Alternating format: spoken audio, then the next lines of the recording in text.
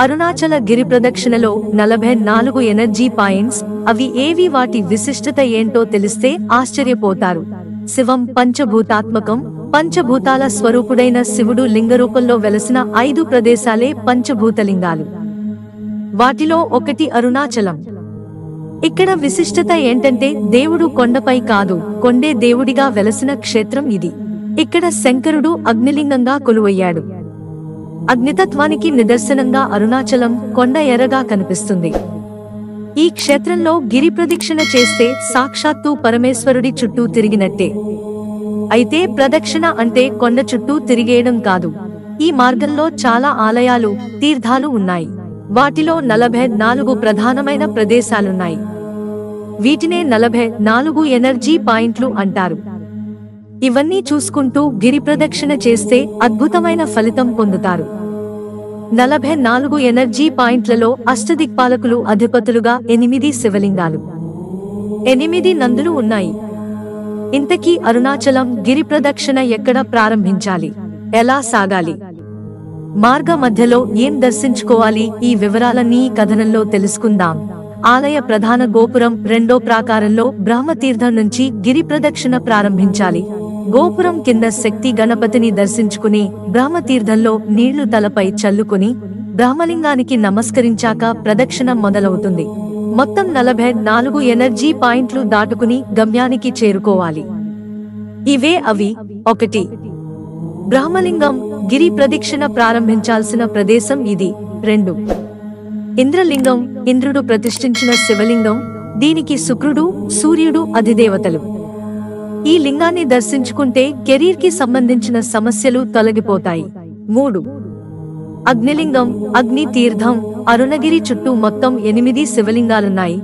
వాటిలో ఏడు రోడ్డుకి ఎడమవైపు ఉంటే అగ్నిలింగం కుడివైపు ఉంటుంది. ఇక్కడ స్వామివారిని దర్శించుకుంటే కష్టకాలంలో ప్రమాదాల నుంచి గట్టెక్కిస్తాడు. నాలుగు.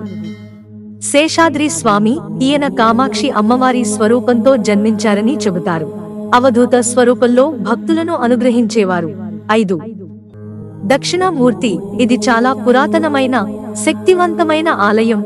దాదాపు ఒక వెయ్యి ఐదు వందలు ఏళ్ళ క్రితం నుంచి ఈ ఆలయం ఉంది. ఆరు. రమణాశ్రమం ఇక్కడ రమణ మహర్షి తల్లి సమాధి ఉంటుంది. దానికి నమస్కరించుకుని రమణాశ్రమంలో చూడాల్సిన ప్రదేశాలు చాలా ఉన్నాయి.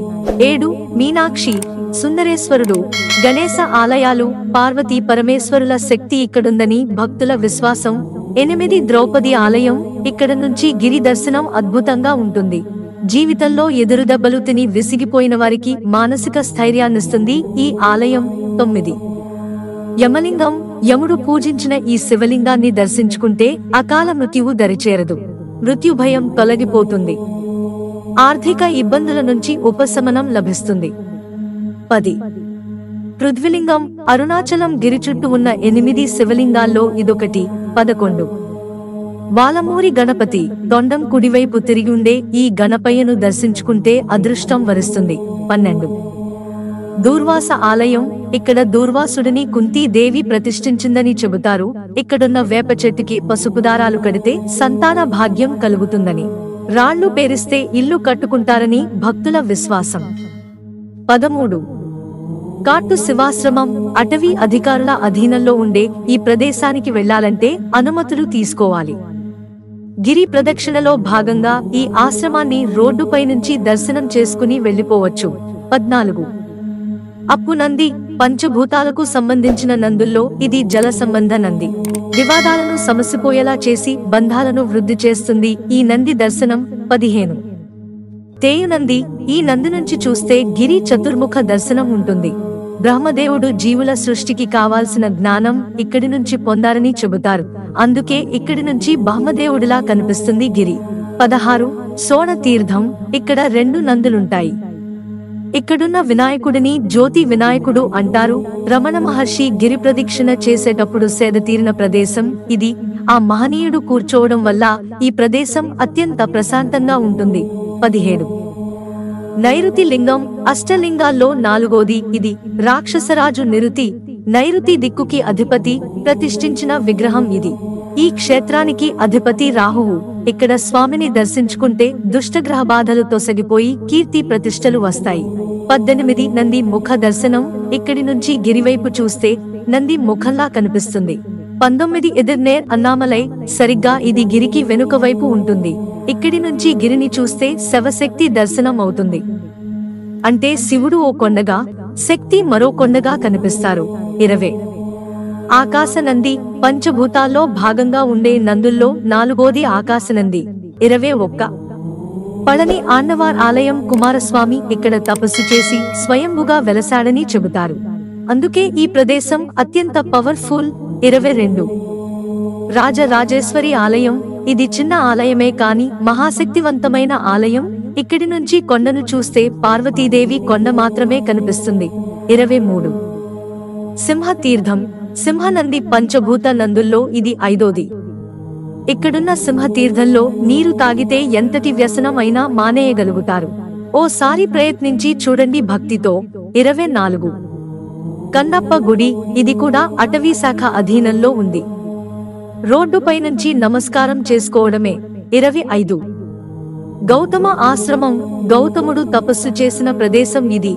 ఇరవై ఆరు. సూర్యలింగం అరుణగిరిపై నుంచి వెళ్ళిన సూర్యుడు తేజస్సు కోల్పోయి ఇక్కడ తపస్సు చేసి మళ్ళీ తేజస్సు పొందాడని చెబుతారు. ఇక్కడ ఆదిత్య హృదయం చదువుకుంటే ఎలాంటి అనారోగ్య సమస్య అయినా పరిష్కారం అవుతుంది. ఇరవై ఏడు. వరుణలింగం వరుణలింగానికి అధిదేవత శని. గ్రహదోషాలు తొలగించే శక్తి ఉన్న లింగం ఇది. ఇరవై ఎనిమిది. మాణిక్య వాచకర్ ఆలయం మాణిక్య వాచకర్ శివభక్తుడు ఈయన కీర్తిస్తుంటే పరమేశ్వరుడు ఆ శ్లోకాలను రచించి భద్రపరిచాడని చెబుతారు. ఇరవై తొమ్మిది. ఆది అన్నామలై బ్రహ్మదేవుడు ప్రతిష్ఠించిన ఈ శివలింగం అరుణాచలేశ్వరుడి కన్నా ముందే ఉందట. ముప్పే.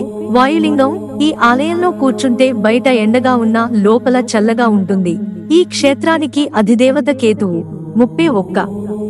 వాయునంది వాయునంది చాలా శక్తివంతమైనది. ముప్పై రెండు. భగవాన్ బ్రిడ్జ్ రమణ మహర్షి సేద తీరిన ప్రదేశం ఇది. ముప్పై మూడు. చంద్రలింగం చంద్రుడు ప్రతిష్ఠించిన శివలింగం ఇది. దీనిని దర్శించుకుంటే మీ జీవితంలో ఉండే కష్టనష్టాలు బాధలు తొలగిపోతాయి. ముప్పై నాలుగు. అధికార నంది శ్రీశైలంలో సాక్షి గణపతిలా అరుణాచలంలో అధికారి నంది అలా అన్నమాట. నంది చెవిలో గోత్రనామాలు చెప్పుకోవాలి. ముప్పై ఐదు. అగస్త్య ఆశ్రమం ఇక్కడి నుంచి కొండను చూస్తే శివపార్వతులు ఇద్దరూ కలిసి కనిపిస్తారు. ఇక్కడ దర్శనం చేసుకుంటే వివాహం సంతాన దోషాలు తొలగిపోతాయి. ముప్పై ఆరు. కుబేర లింగం లక్ష్మీదేవి ఈ లింగాన్ని ఆరాధించి కుబేరుడికి అప్పగించింది. ఇక్కడ శివయ్యను దర్శించుకుంటే భోగభాగ్యాలు కలుగుతాయి. ముప్పై ఏడు.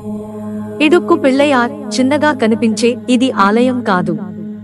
లోపల రెండు యంత్రాలు అమర్చారని గిరి ప్రదక్షిణ వల్ల వచ్చిన అలసట ఈ ప్రదేశం మాయం చేసేస్తుందని నమ్మకం. ముప్పై ఎనిమిది. పంచముఖ దర్శనం ఇక్కడి నుంచి గిరిని చూస్తే ఐదు ముఖాలుగా కనిపిస్తుంది.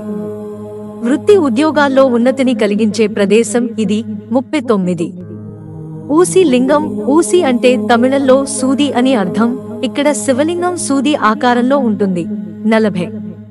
పచ్చయ్యమ్మ గుడి ఇక్కడ శ్యామలాదేవి పచ్చయ్యమ్మన్ స్వరూపంలో కొలువైంది. నలభై ఒక్క.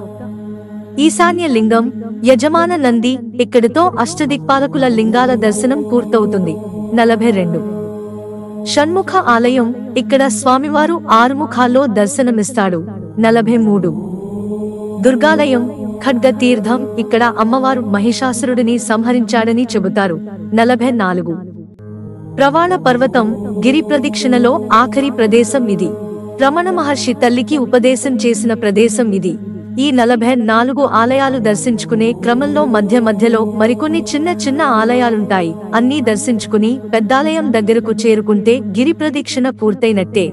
ఇది గిరి ప్రదక్షిణ చేసిన విధానం. మిత్రులారా ఛానల్ సబ్స్క్రైబ్ చేసుకోవడం మర్చిపోకండి. ధన్యవాదాలు.